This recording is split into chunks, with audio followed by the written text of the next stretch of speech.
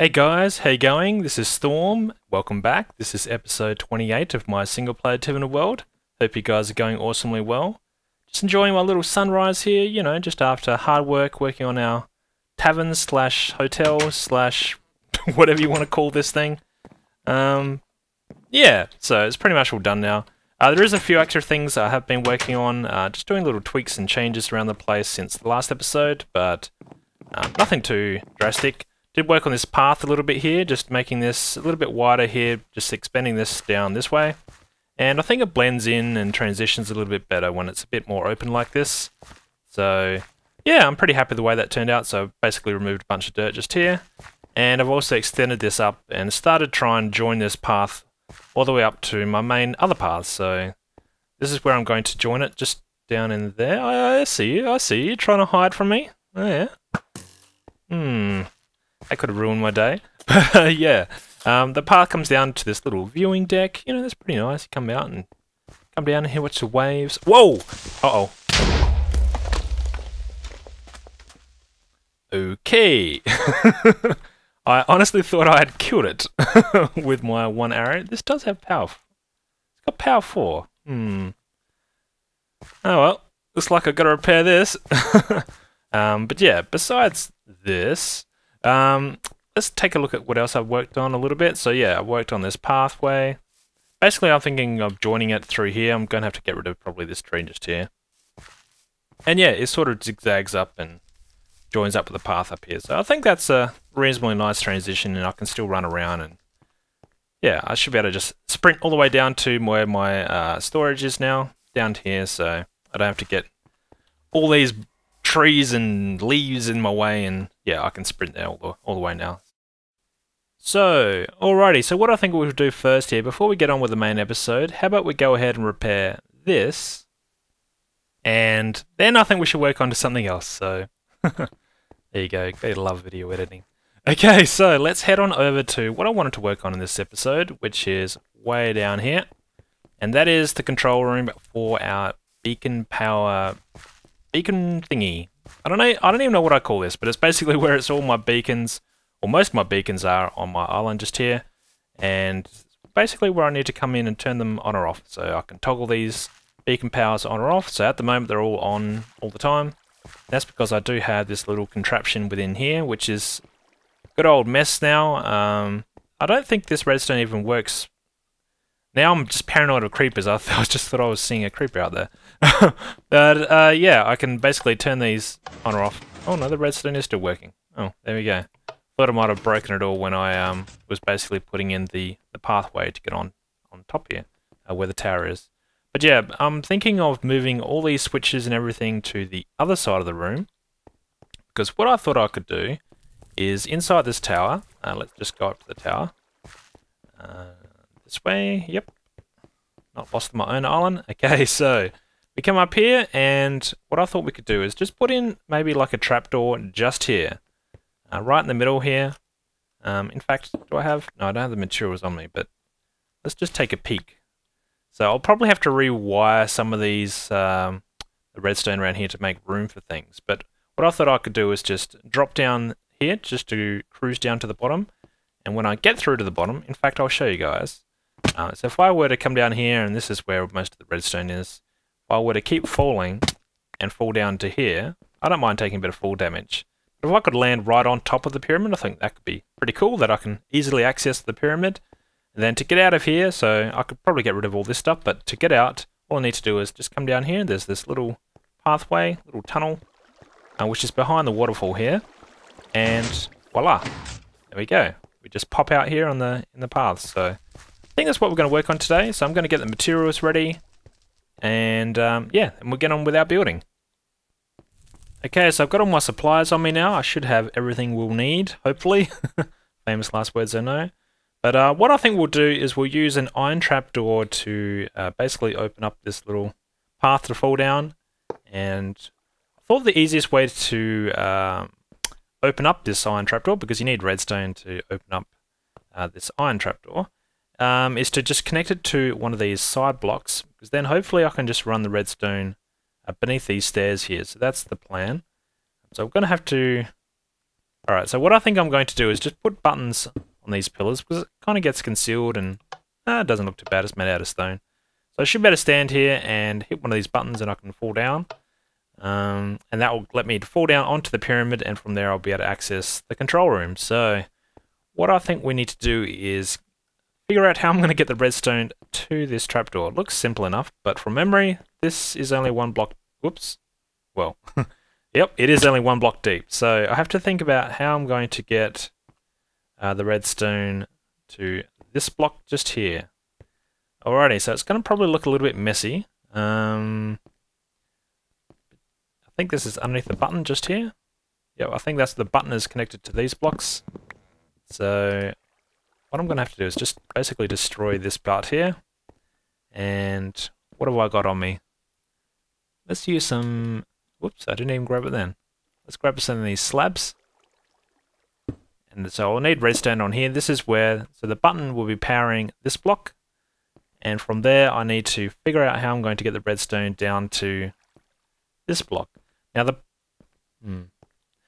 So, how to do that? This should be underneath the stairs. It's kind of strange building upside down like this. Um, but I'm pretty sure this block here is connected to the outside where I can't just easily use that. Um, yeah. So I'm probably going to have to use uh, blocks like this to uh, put the redstone on and zigzag it around. But uh, yeah, it's going to take me a little while to just figure out all the little details. So I'm just going to skip ahead and voila, we'll have something built. So we're just about done here. That should be it for the redstone. I had to get rid of this button just here. Uh, there wasn't quite enough room and um, yeah, this is only one block thick, so I didn't have a lot of room to play with. Uh, it certainly doesn't help when this isn't quite at ground level, so I couldn't uh, remove this block or this block. So just I had to get the redstone dust down uh, an extra block, so I had to invert the signal, and to invert both of them and have them both working together, yeah, not really worth it. So here we go, that should be it. This should now just easily open, there we go. So let's cruise on down, um, and let's see if we can still fit. Oh, need to uh, ease off the carrots, I think. There we go. Alrighty, so now that we're down here, what I want to do in this room is basically just move all these levers from this side of the room to this side of the room. And I also want to be a bit creative inside this room here itself. So I'm going to basically tear down this wall and redesign this room, see how much I can get done. Uh, I've got a few ideas on what I want to do in this room, but uh, yeah, I think we'll need some TNT.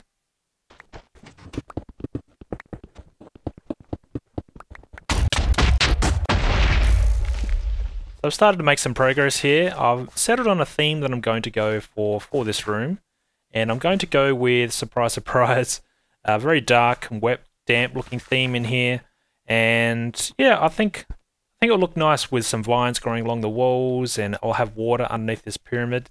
In fact, I'm thinking of having uh, this pyramid half buried in the water itself. So perhaps this could be at the water height level or even this block here.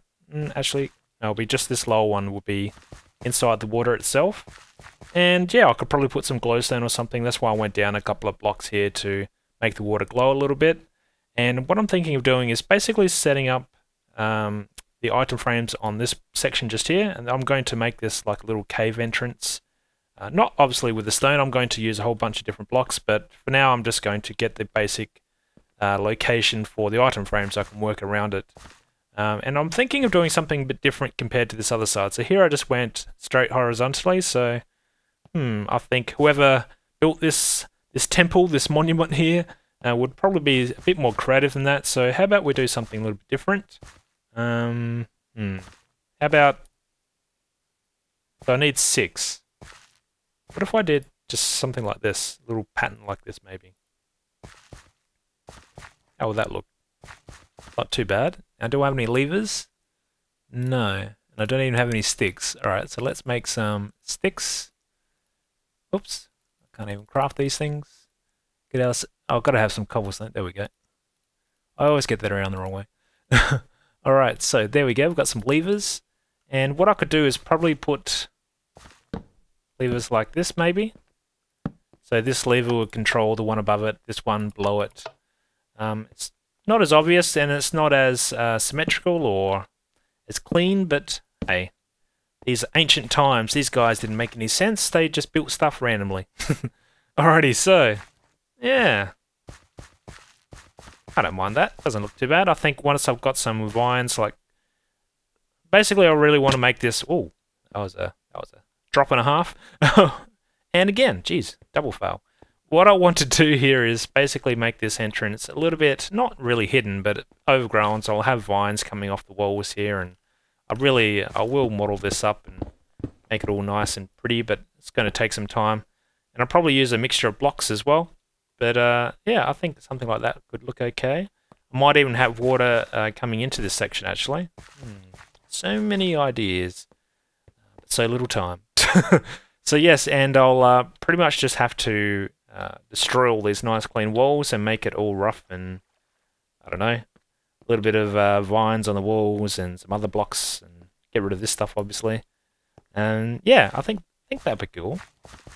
So I'll need to get in behind here because I'll need to send uh, redstone for these uh, levers upwards vertically, similar to I had here before. So I should have plenty of room for that. I haven't really looked to see what's going to be back here or um, even above me. But, hmm. What could go wrong, hey? Oh. I totally jinxed myself just then, I think. I was just running back to get some slime blocks. And, yeah. Fell in my own little lava trap. I think that's number four that I've died down there now. Wow. Um, my inventory is totally full as well. So, yes. I do. as much as I sound upset, I don't mind it whatsoever. Um, my pick was almost gone anyway, but yeah, I had a few other good tools, but hey, if I don't die, then I'll never keep using my diamonds, so... Yep. Gotta die every now and then. In fact, let's die again. Why not? It's just for the fun of it. Alright, need to get regrouped. Alrighty, so I've managed to recover pretty much to where I was before I died in that fiery lava death. Um, but yeah, got most of my stuff back. Well, in fact, I didn't get anything out of, out of the lava. I managed to um, collect a whole bunch of other stuff that I had around the place to continue on. So pretty much where I was. I've just made a bit of progress here on the redstone. Um, yeah, it turned out it's not as not as simple as I was hoping. Uh, it's a little bit cramped, even on this side. So not sure if I made the best decision moving it from this side to this side, but hey, that's right. At least we got to use TNT. so let's take a look from behind here. So this is where I've just got the different uh, levers here sending their respective redstone signal vertically. And I've just got this joining up to the various uh, pistons above here, which controls whether or not the beacons uh, can see sunlight or not. So basically, it turns them on or off. That's in a nutshell. That's what happens. Uh, so it's pretty much all done. Um, each of these lines here will turn off the or turn on the respective uh, beacon. So when I go and remove all of these, I should have five. Do we have five? Yes. Now we've got five beacons, all shining bright, and I've got all the, uh, uh, power boosts, um, which is pretty awesome. And I just need to connect up just the the time sensor component over here it's a little bit more complicated than it was on this other side here, just by the nature of where this redstone is coming up to connect to these various lines along here. And basically what I need to do is send a redstone signal across all of these um, when it's meeting certain conditions just down in here. So it was a bit easy where it was, or the layout of the redstone before, but that's right, I'll make it work. So there's a fair bit of work to do to clean all this up. Um, I'm not going to have time to do that all in this episode, unfortunately. I've got to cut this one a little bit shorter than normal. Um, it's getting late, and yeah, I've got work first thing in the morning. So yes, I will be wrapping this up. So it's pretty much all done. I did want to show you guys just quickly the if I can get out of here. I bet I can't. in fact, I've got jump boost, don't I? Whee! Can I jump that? No. That was disappointing. I did just want to show you guys something uh, very quickly. So I did work on the inside of this um, between the last episode or last couple of episodes when we last worked on this tower thing and this one. So we did her we I have added in whoa whoa whoa.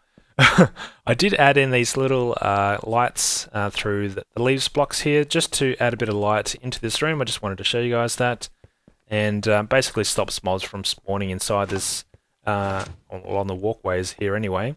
And up the top here, I did um, just clean this up a little bit, make it a little bit nicer. Got this thing full of um, fireworks at the moment, so these things should just go off every time it goes dark. So four of these will be, um, yeah. Whoa, whoa, what's going on? Game locked. Whoa. Okay, that was some major lag just there. It's got to be a sign. Alright, so on that note, I think I need to wrap it up and get out of here. Um, and between now and the next episode, I'll spend a bit of time on this redstone and try and make it all nice and pretty and clean. And yeah, there's a fair bit of work to be done, but yeah, that's what you get when you die halfway through a project. Sucks to recover. Alright, guys, thanks for watching, and until next time, stay awesome, guys. Alright, see you guys. Cheers.